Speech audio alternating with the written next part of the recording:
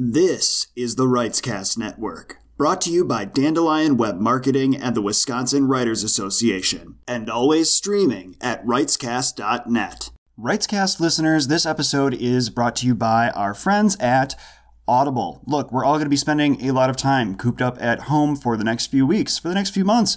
Who knows? The point is this you're going to need to find some way to pass the time and to keep things fresh. And what better time to start getting familiar with audiobooks?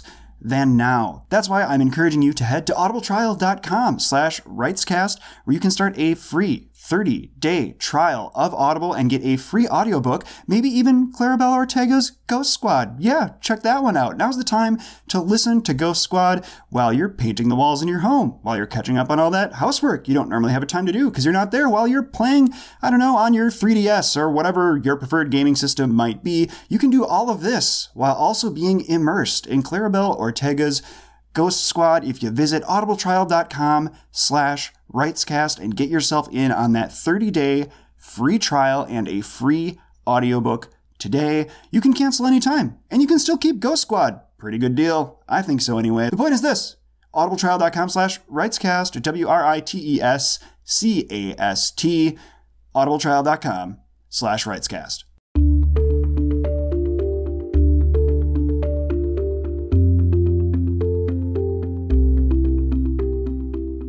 There's no shying away from it. This is a tough time to launch a book, let alone a debut, but this episode's guest, a champion of all things Twitter, meme, and GIF, is finding ways to ensure her launch goes off without a hitch. And there's so much we can learn from her experience, both in this realm and beyond. Hey there, I'm author, writing coach, and Writescast Network founder R.R. Campbell, and welcome to episode 79 of your listener supported R.R. Campbell Writescast here on the Writescast Network, brought to you by Dandelion Web Marketing and the Wisconsin Writers Association. This episode's guest is Claribel Ortega. Claribel went from journalism student, editing her classmates' oftentimes hilarious ads and ramblings, to a small town reporter, where she enjoyed going to Board of Ed meetings and texting the town mayor about the line at Starbucks. Today, she's busy turning her obsession with 80s pop culture, magic, and video games into books. She's the host of the Write or Die podcast and the owner of the small graphic design business GIF Girl and the GIF Girl Shop, which creates apparel for writers and creatives. She lives in New York with her motorcycle riding poet boyfriend and her suspiciously intelligent Yorkie, Pancho Villa. Aside from all of that, Claribel is the author of Ghost Squad, which is set to be released on April 7th, 2020 by Scholastic. I was thrilled Claribel could join me for this conversation, during which we touch on Ghost Squad, middle grade fiction, grief, and yes, Chunk the Cat. There's plenty of Chunk the Cat. So without further ado, let's get into my full interview of Claribel Ortega, author of Ghost Squad. Stay tuned after the episode for updates on what you can expect next from the Writescast Network, and thanks, as always, for listening. Well, thank you so much, Claribel Ortega, for joining me for this episode of the R.R. Campbell Writescast here on the Writescast Network. Thank you for having me. I'm so excited. Yeah, this is a really uh, an interesting time to have a book coming out here, and I want to check in with you, person to person, author to author, how are you holding up with a book launch imminent in these times of self isolation and social distancing? It's been interesting, uh, to say the least. Um, it's uh, I've been surprisingly very busy because a lot of people have been going out of their way to try and help um, authors who have been affected by the coronavirus um, in terms of their events being uh, canceled and um, especially you know when you're a debut author this would have been like my first book launch my first everything and it's crucial because nobody you know knows who i am yet in the in the reading world so um, i've had a lot of support and people reaching out and people offering to interview me, which is great. Uh, so I've been really busy. It's been strange because I thought I would just sort of like be home and be sort of busy, but like busy, like less busy than usual. But I was really wrong. it's amazing um, how how the the landscape shifts, right? absolutely, and you know, in the in the beginning, like when before things started to get canceled, it was like a more anxious time for me. I was having a hard time with everything because it's almost like all of these things are like looming over your head and you're just waiting for emails of, of bad news. But now that all of that is sort of out of the way and I've sort of accepted that I'm going to be at home and doing everything virtually, I've just like accepted it and I'm trying to make the the best of it and have fun with with it as much as I can. Well, and that's one of the really nice things about this digital age is that there are opportunities to continue to move forward with the book launch and to still be excited and to get readers interested in your work. And I know that you're still holding a digital launch party. Is that right? And then where uh, where will you be facilitating that and how can people tune in? Yeah, absolutely. Um, so I'll be have I'll be live streaming a um a digital launch party, a virtual launch party, along with uh, Ryan La Sala, who's the author of Reverie, and Zoraida Cordova, who is the author of the uh, Brooklyn Bruja series, among many other books. Um, it'll be on my YouTube, um, which is just uh, backslash c backslash Claribel Ortega author, um, and that's all on all my social medias, and we'll just be live streaming um an event, just like it would be if you went to a bookstore, but uh, on on YouTube. And I'm gonna have a menu of food that you can make at home to eat along as you watch the event. Um, we're gonna raffle off a, pl- a plush of Chunk, which is the fat cat from my book. um, there's gonna be, uh, you know, a lot of fun, and just hopefully it'll be like feel like being at a party when everyone's just sort of like in their living room.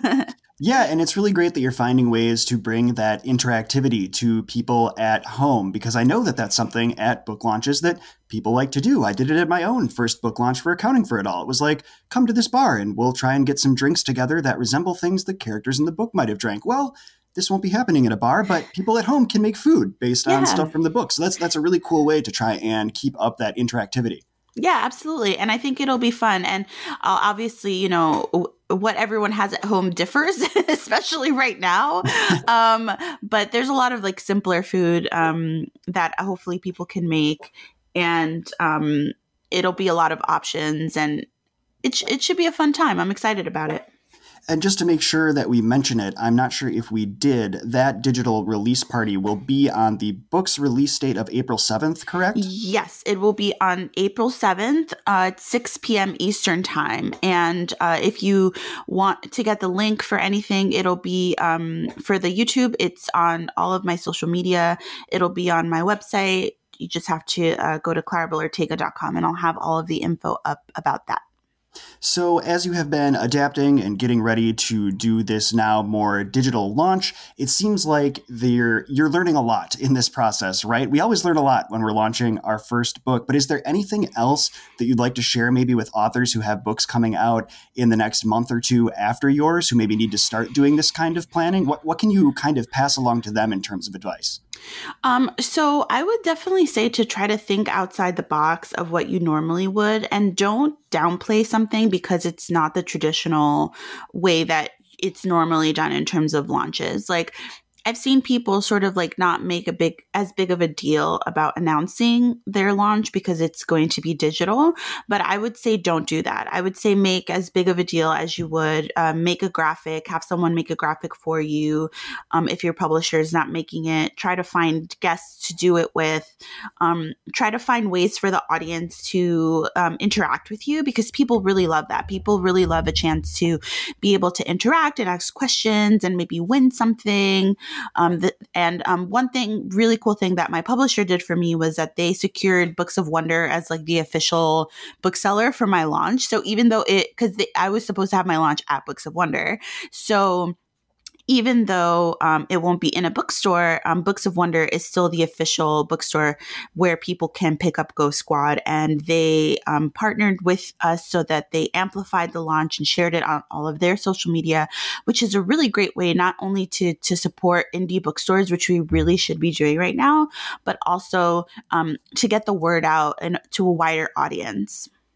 Yeah, there's really something to be said for how much it seems artists everywhere, between indie bookstores and those of us who are out there just creating, are in this stage of trying to cultivate community and keep everyone's hopes up, keep the energy up. And there really is, like you say, something so critical about remaining excited about mm-hmm. our work and about our creativity and about what it is that we have to look forward to during these times. So I'm really glad that you have made sure listeners can walk away with that, whether they are someone who is just writing from the comfort of their own home or they do have a book, in fact, coming out in the next couple of months.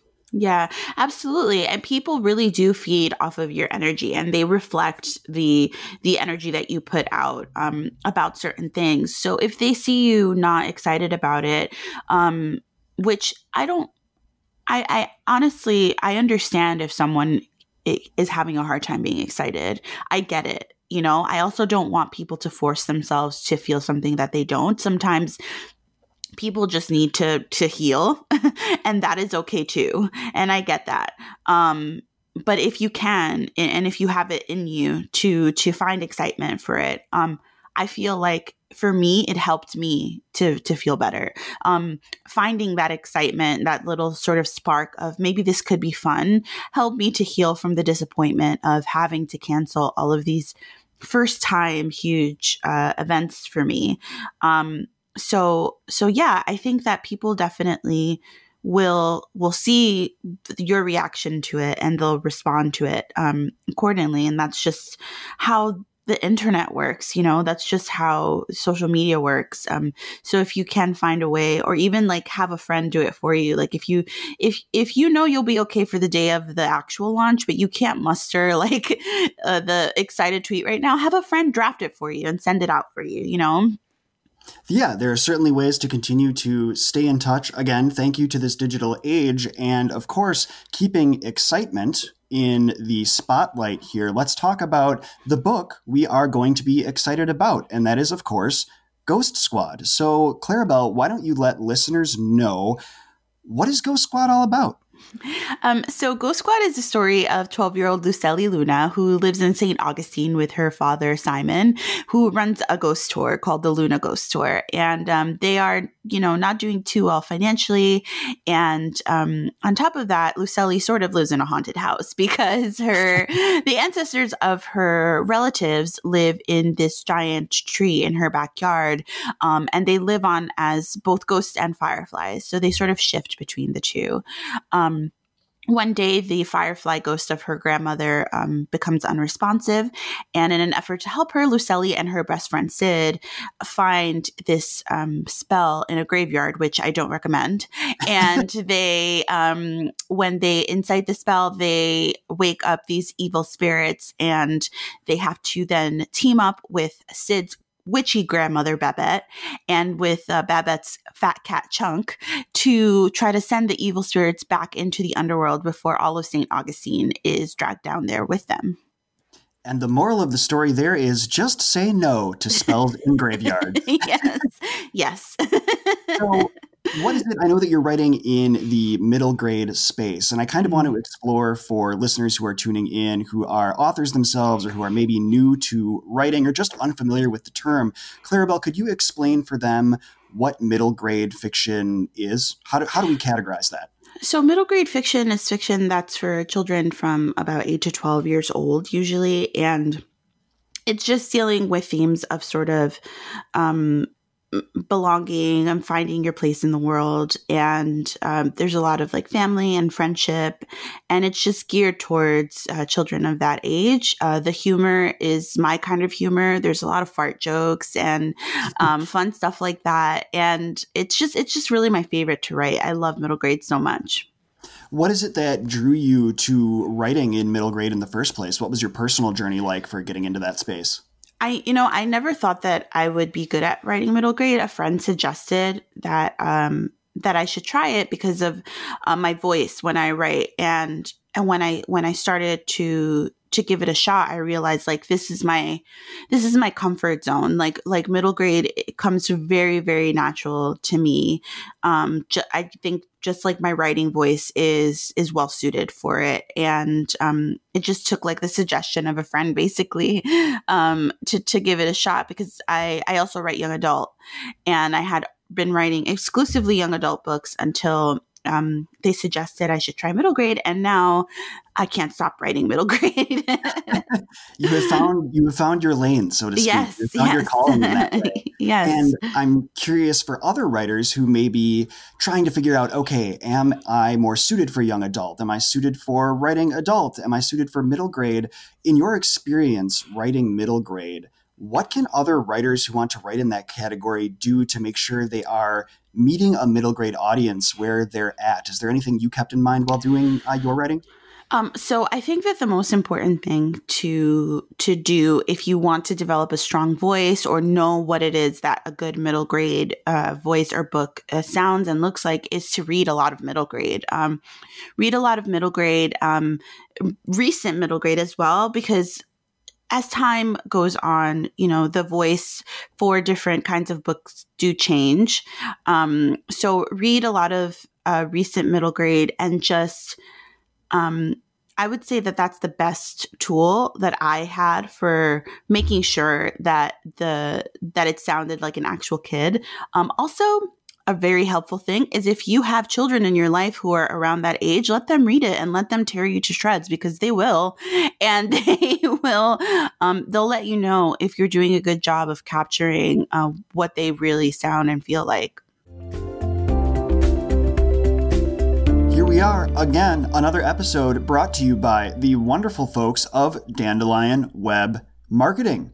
Dandelion Web Marketing is going to help you, yes, you a writer tuning into this program, they're going to help you build a thriving author platform through strategic web marketing. So if you're not sure if you're on the right track with your website, you can get one of their author website audits and find out listeners to this show right now can receive 50, 50% off one of these amazing author website audits, which will look at your site's content, security, design, search engine optimization, and more. And it'll also provide you with some insight on what you might do to improve the connection you strive to make with your audience. So to learn more about the strengths and weaknesses of your current website, and save 50% along the way, you can visit dandelionwebmarketing.com slash writescast to learn more.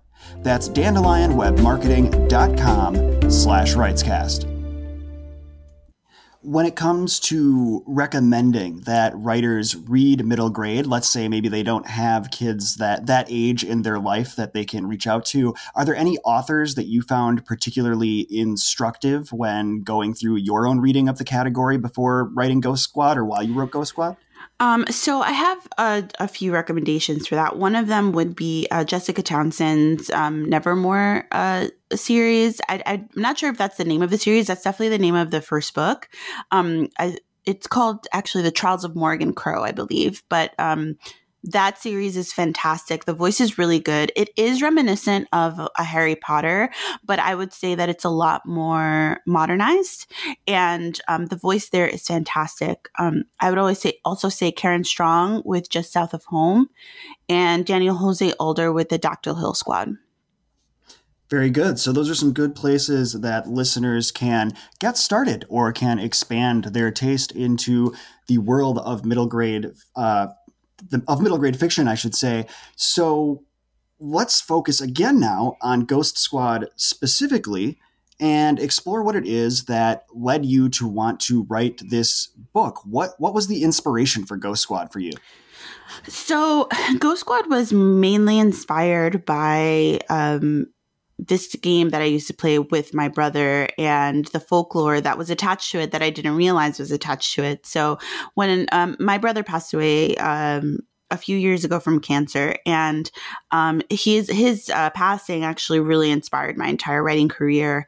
And one of the things that we love to do as children is to catch fireflies in mason jars and then let them go, obviously. But um, we love to do that, and it wasn't until that I, I was uh, a little bit older that I learned that we have a folklore in Dominican Republic that says that fireflies are actually the spirits of our um, lost loved ones who are watching over us. And I just thought that was a really beautiful um, m- sort of message uh, from you know my brother, and uh, I thought it would be great to to put that in a book and to put that in a book in order to open up the conversation about grief in a way that wasn't um, so pointed. So a child reads the book and you know, the first thing that they're probably going to to do is identify the fact that if they had firefly spirits, who would they be, right? And um, that can be a sad thought to think about, but I feel like um, the conversations around death and loss are really important to have early on. Um, it's such a it's a natural part of of our lives, right? Um, so really, um, I would say it's twofold.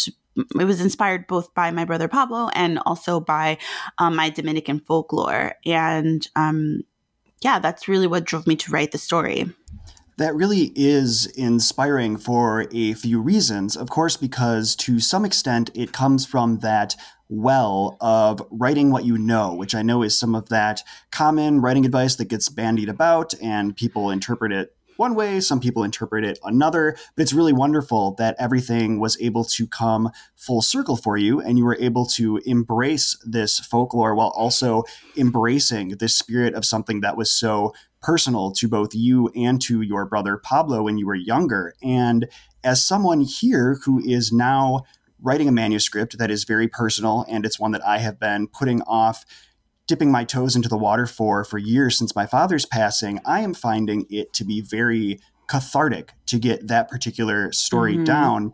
And Claribel, for you, when you first sat down to write Ghost Squad or what Ghost Squad would become, what was your headspace kind of like? Did you find that it also provided a similar catharsis, or was uh, what was that like for you? Absolutely. Um, there were times where it was really helpful and it was comforting. And the reason why it's comforting is because the whole idea behind Ghost Squad is that the people who leave us never really leave, right? It's uh, it's it's it's in a more um, sort of tangible way with Lucely and her firefly spirits, but um, the message and the story is that they're still around us. They're still in the things that we experience with them. They're still in our hearts, and writing about that and trying to convey that um, comforted me um, because I am also dealing with grief and loss and um, there were also times when it was hard to write, um, when it was difficult because you're writing about this deeply personal thing. But I got a lot of feelings and emotions out as I was writing it for sure. And it, it definitely was cathartic. Is that something that maybe you would encourage other writers to consider doing? Is perhaps once in a while, and of course when they're ready, really exploring some of these uh, more challenging things that they might have going on in their life? And if so, is there something that you did in your approach to the page that they might be able to learn from? Um, so I think that that's a you know obviously a deeply personal decision to make because it can be diff- it can be hard and the one thing that you have to remember is when you write a book about something so personal, if it ends up being published, you have to continue talking about those things.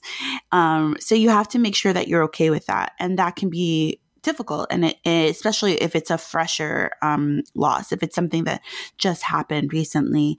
Um, so I would say definitely it can be helpful if, if even if it's something that you write only for yourself. Um, and if you feel the, the, the calling or the urge to write about it because you feel like it would help others, then and and you feel okay doing it, then I would definitely encourage it. Um, it can definitely be really nice. I've I've I've been at events where I've talked about the inspiration behind Ghost Squad, and I've had people come up to me afterwards thanking me for talking about it because they experienced loss as well. And it was nice to hear someone talk about it so openly. And that can be really, um, it can be a healing moment for you because it can make you realize that even though this terrible thing happened, good things can still come of it.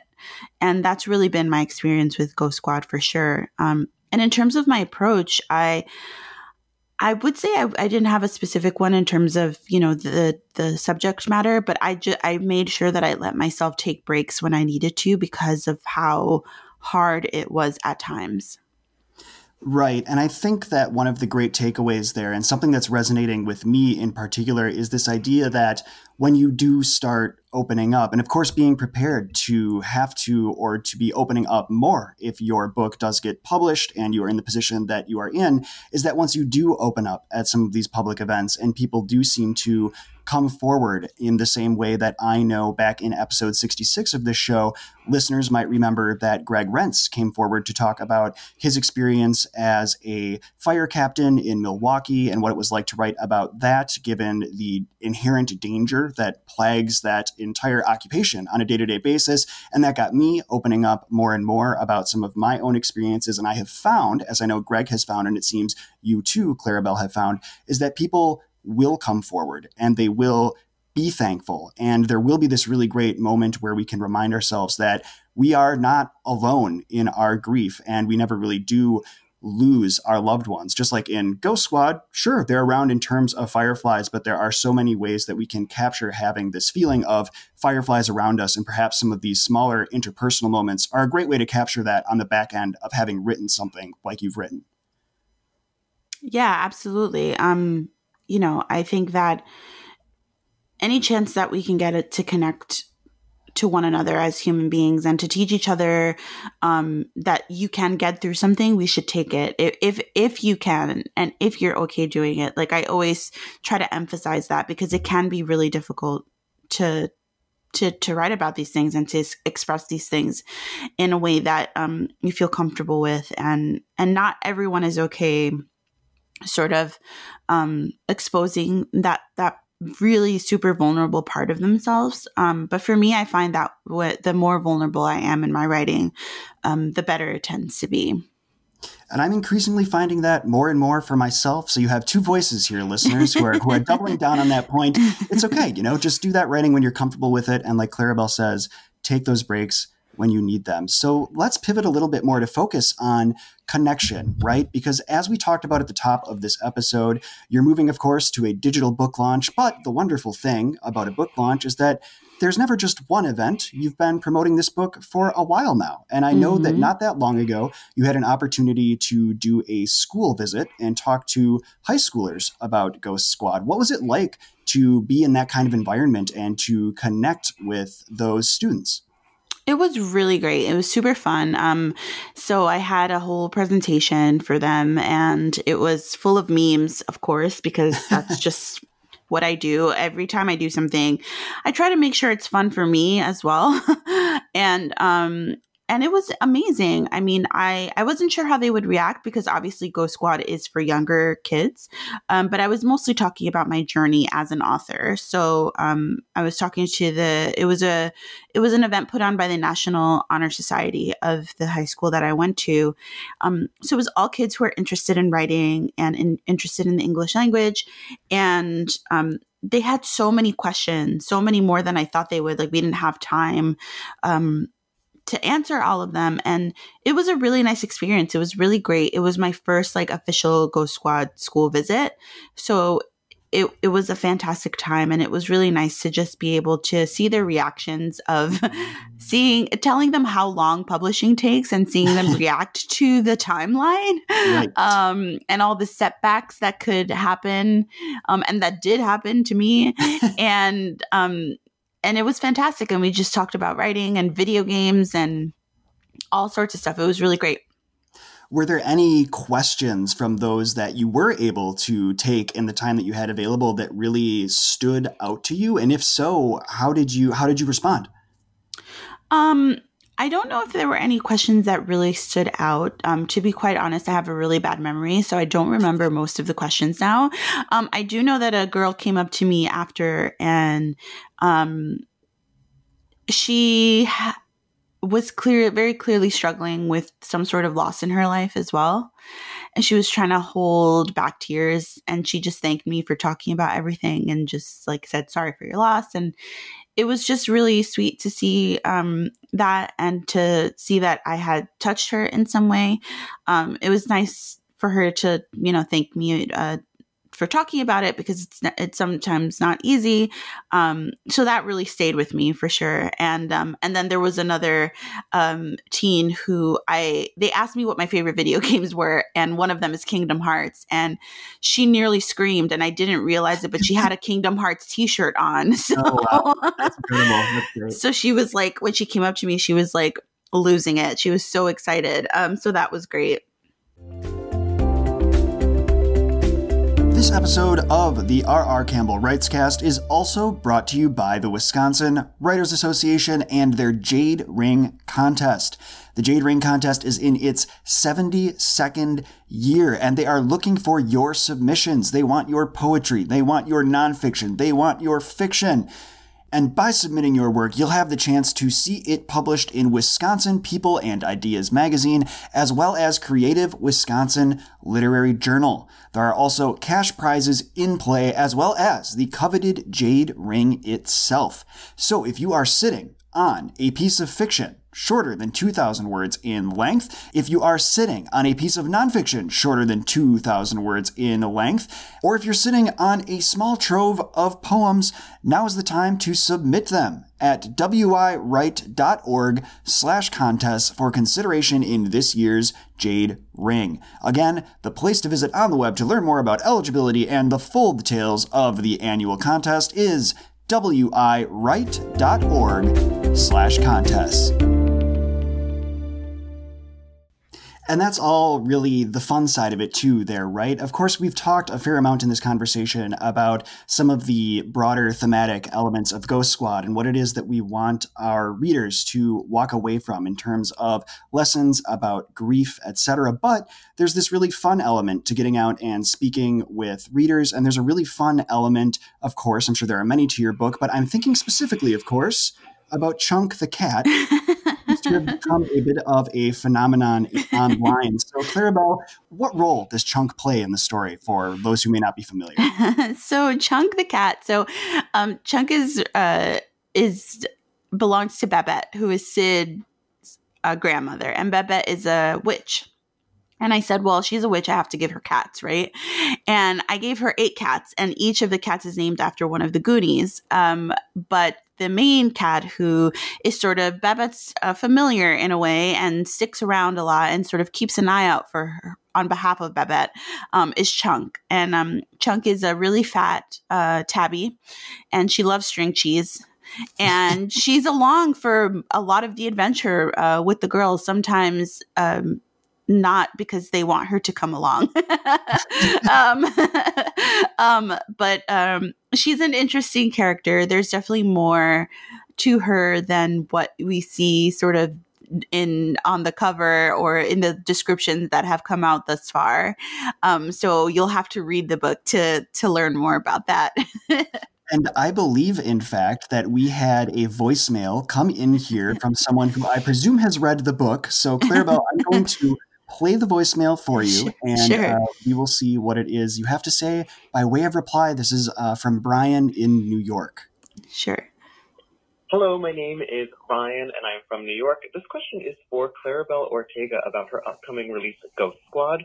I was really fascinated by the inclusion of Chunk the Cat. I think she's fabulous. And I was wondering about your creative choice to not give her the lead role since she is clearly the most beautiful and talented character in the book. Please let me know. Thank you. so there we have it. Of course, a call dedicated to Chunk. Chunk. So thank you for that call at 608-284-8342. if you are someone who has a question for a future guest, you can call in at that number. But Claribel, let's get to the matter at hand. What do you have to say to this caller? What, what's the deal? Um, so I didn't quite hear the last part of his question. Um, yeah, he was focusing on why is it that Chunk isn't the lead character? Chunk is clearly the most talented and beautiful of all characters. Well, Chunk, uh, it would be difficult for uh, the book to be interesting if we just followed Chunk around and her just saying meow for like 265 pages, which is mostly what she says. Um, she did get her own cover though for the Scholastic Book Fair uh, version of the book, so there's that. we're all yes, we're all about uh, paying our dues to Chunk. We need to make sure that Chunk is respected as much as possible. And I don't know, we'll save the uh, Chunk being the lead character for the annals of fan fiction, perhaps. So that's something that our caller can perhaps consider taking up. But we did have one other caller here for you, Claribel. They do have uh, part of their question, yes, is about Chunk, but they do have a question a little bit about process as well. So I will go ahead and play this voicemail for us now. Sure. Hi, I my name is Kat from New York, and this question is for Claribel Ortega, author of Ghost Squad. And I want to ask her that when she's writing paranormal fiction or contemporary fantasy, what does she think about first, the contemporary world or the magical aspects of the world? And then I also want to know how she comes up with such funny and interesting side characters like Chunk the Cat or like the cool grandma in Ghost Squad. Um, they're really, really funny. So I just really want to know how she comes up with those characters. Okay, thank you. All right, so there we have it again. Another question about Chunk, a question about the grandma at 608 284 8342. So we've, we've spoken a little bit about Chunk, so let's maybe start with the first half of the question. When you're writing or when you're approaching your work, do you find yourself thinking about the contemporary elements or the magic first? And how does that play into your process overall? Um, I definitely think about the magic part of it first, although you know the contemporary elements are folded in within that. So it comes very quickly after how the you know the normal world reacts to it or what they know and don't know. But i mostly focus on the magic first because that's the part of the book that's going to be taking up the most space and time. Um and in terms of how i come up with side characters i honestly don't know they just sort of come to me. background of Kingdom Hearts and gifts, memes, right? It's it's all out there for us, and and the Goonies too, like you say. You yeah, the Goonies. I I mean, I really I really do love sort of like um ensemble casts when it comes to movies and like um and video games and all those things. I grew up with that kind of um, media, so I think it's just like part of like deep down in like my like little Claribel's brain, like a thing that I always really liked, and it's just sort of been like fermenting all these years it's funny how it just percolates to the top in those strange moments of inspiration that we didn't expect. And suddenly we have Chunk the cat. Suddenly we have this incredible, interesting grandmother character as well. So very cool. Thank you, Kat, for that call. Again, listeners, in the future, if you have questions for other guests, you can get a hold of us at 608 284 8342. So, Claribel, as we wrap up our conversation here, I think it is important that we remind listeners where is it that they can find you online and how can they order your book? Sure. Um, so I'm on Instagram and Twitter at Claribel underscore Ortega.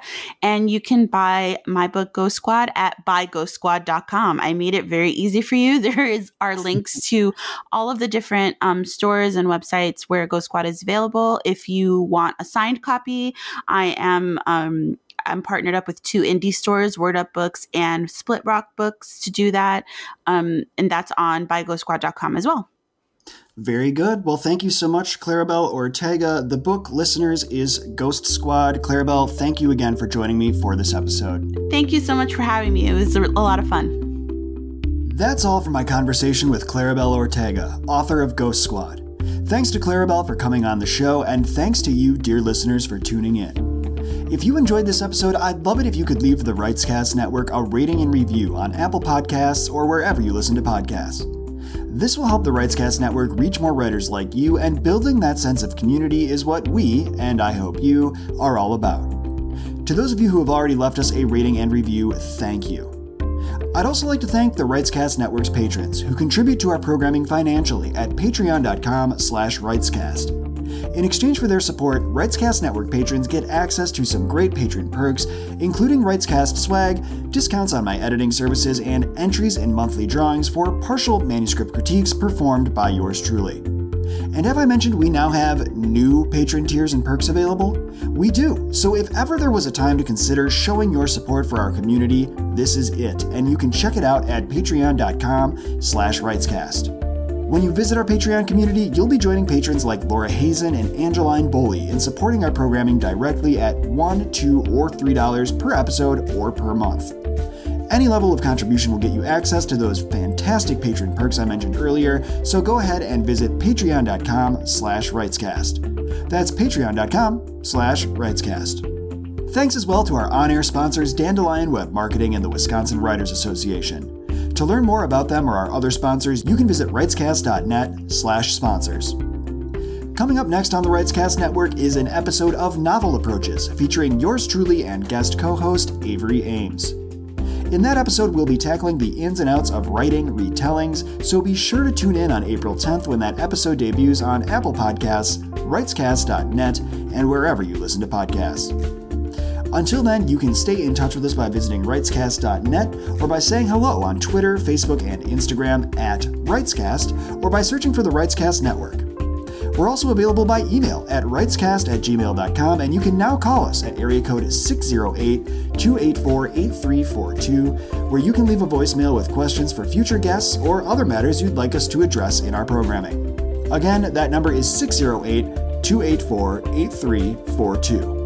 To reach me personally, you can visit rrcampbellwrites.com or holler at me on Twitter, where I can be found as at I am RR Campbell.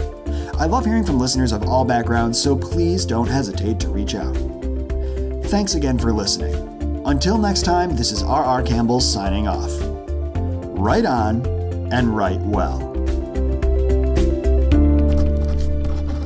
This is the Writescast Network, brought to you by Dandelion Web Marketing and the Wisconsin Writers Association, and always streaming at writescast.net.